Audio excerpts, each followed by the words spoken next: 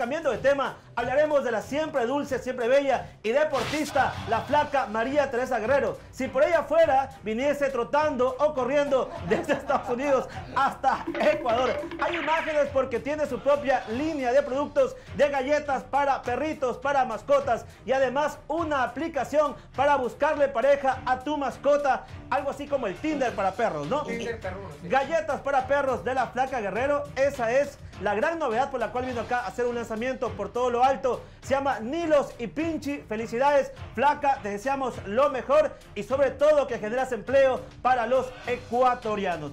Pero entre tantas cosas que hablamos con ella, Reinaldo Vázquez le preguntó qué pasó con su ex el Capitán América, Danny Glitch, porque ellos se casaron enamorados y recientemente se separaron. ¿Qué dijo la flaquita Guerrero?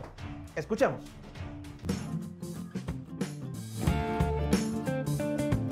El amor nunca se ha ido todavía. Ni se va a ir. Yo a él lo quiero con todo mi corazón. Tenemos una relación increíble, nos respetamos, nos adoramos. A mí me da risa a veces porque yo creo que la gente, cuando hay separaciones, la gente espera que se manden a la miércoles en redes sociales, que se odien, que se insulten, que se griten.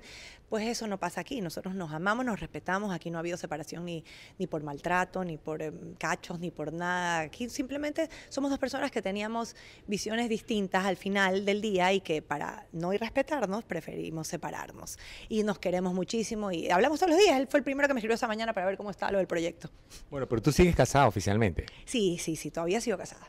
Ya, pero en todo caso, si yo veo un tipo, este tipo de relación que tú me comentas, yo asumo que tú sigues feliz y contenta con él y que no está tu corazón lista para buscar ninguna otra relación. Todavía no estoy lista, eh, todavía no estoy lista. Eh, lo que pasa es que el divorcio no es tan fácil, pues, ¿no? Pero yo me imagino que en los próximos meses, pero en, el, en este momento nos llevamos bien y con mucho respeto y amor, que es lo más importante. La Flaca Guerrero siempre ha sido una de las animadoras más queridas dentro de la televisión ecuatoriana. Todo el mundo la recuerda, todo el mundo la quiere ver de nuevo. Ahora que estás acá, ¿no te han hecho una propuesta para decir, sabes que Flaca, vengas para acá un rato, acá a animar, qué sé yo, algún matinal? Te digo la verdad, no tengo ganas de volver a la televisión, no porque la televisión me haya hecho nada, porque yo amo la televisión, he estado tantos años ahí y sí, sí me han hecho propuestas, pero no tengo ganas de volver a la televisión. Me da pereza, no tengo ganas de, de, de levantarme temprano, ni de maquillarme, ni de... No, yo soy una deportista real, me gusta el deporte demasiado como para volver a, a ser empleada de una empresa de televisión, no quiero, no tengo Bueno, ganas. Flaca, tus hijos siempre han sido tus perritos, pero Sí. si has pensado de alguna manera tener un bebé que no sea perruno. No, me da pereza. Yo, el que no sea madre no significa que, que- que- que- que soy una mala persona o que soy egoísta. Simplemente no tenía, no tengo ese espíritu paterno. Quiero más perros, eso sí. Quiero más bicicletas. Pero no, no sé si quiero ser mamá. Y si algún día me da ganas, pues adopta un niño. Hay demasiados niños en este mundo que necesitan un hogar. Pero de aquí no creo que salga nada. Pero realmente nos sorprendió las declaraciones de nuestra querida Flaca Guerrero, muy querida, muy amada en redes y en donde ella va siempre llama la atención. Dijo en primer lugar que sigue amando a su esposo, pero que igual va a ir el divorcio en unos cuantos meses porque es un proceso que, da, que sigue. Dijo que le ha hecho puche la televisión ecuatoriana porque viene acá, le dicen, ven para contratarte, le dice que no, que prefiere seguir subiendo a los Estados Unidos. Y otra cosa también que ella no piensa tener hijos nunca. Que ella simplemente quiere más perritos, más bicicletas y que en todo caso, si algún día algo le apareció demasiado, la necesita un hijo, ella adoptaría, pero que de su vientre no. En todo caso, pues son sus decisiones. Claro, yo creo que eh, bueno, es una decisión personal el tema de sus hijos y siempre ha sido ¿Cómo es tu caso?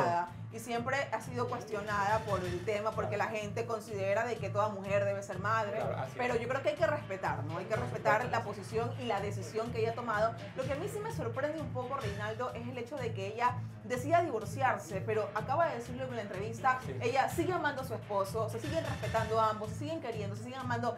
¿Qué puede ser tan, tan fuerte como para terminar con un matrimonio si hay amor, si hay respeto? Planes diferentes, ella lo dijo, sí. Pues O sea, sí. no profundizó, pero Puede ser, sí. Pero, Sí, inclusive pero cuando tú amas, pero cuando tú amas, o sea, el amor puede superar esos planes.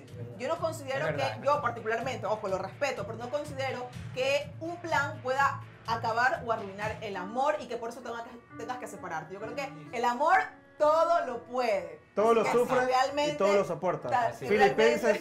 Así realmente- es. 23. Así Si realmente hay amor, yo creo que ellos pudieron haber hecho algo para Por supuesto que este sí, pero bueno. dice que nadie sabe el mal de la olla más que la cuchara. Exacto, tiene que haber algo más ahí. Claro. es lo que Soraya. Obvio, porque cuando hay personas que se pueden amar demasiado, pero sus planes, como lo dice eh, la flaca Guerrero, son diferentes. Hay gente que no quiere y no planifica tener una familia porque considera vivir su vida de forma diferente. Pero si la otra persona tiene planificado en su vida que su amor se desarrolle en lo que realmente para él suele, puede ser importante y representante como tener una familia, Entonces, ¿tú yo crees tengo- que Dani puede haber querido tener un hijo? Ser. no, ser, necesariamente un ser. hijo, o sea, puede, yo, yo quizás cuando me case hay algunas personas que tienen un concepto de hogar, vienen de un tipo de ya de una doctrina O sea, tú te quedas aquí en la casa y dejas de andar por ahí pajareando. No, yo, yo quiero una familia, familia, Construir algo, construir una una familia, Ah, ¿Pero a qué le llamas tú una familia? hijos, eh, eh, hijos, el, La el- esposa en casa, el la esposa en trabajo. casa, Exacto, llegar, cenar. Entonces, si tenemos planes diferentes, Pero por no mucho que, las por mucho que yo te ame, por mucho que el amor te dé, no te da para cambiar. Oye, pero, pero. Soraya, ¿tú no crees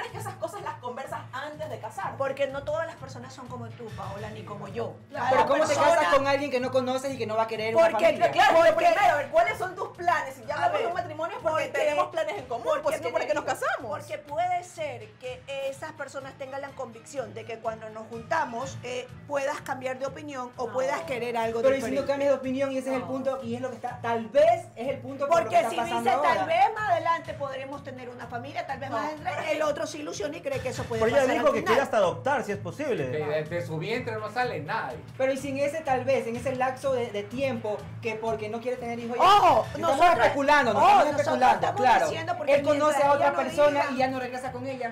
Ah, Yo creo que sí van a regresar. Si me preguntan, Ojalá. en la Pachamama van a regresar. regresen, la verdad Ojalá es que tu Pachamama ojalá ahora. puedan regresar y que, y que puedan adoptar, si la flaca no quiere ser mamá, pues que puedan adoptar, Claro. que puedan tener más perros, pero que si hay amor, Ah. realmente puedan rescatar ese amor, pues y puedan continuar en el matrimonio. puede ser que el problema no sea nada de, de tener Claro, familia claro. ni hijos. Por eso estamos Y- especulando Y, sea, más. y sea alguna cuestión ya de, de convivencia, de, Claro, pues digo, De sabe, mentalidades. de mentalidades, una latina con un gringo. Sé. hay que ver.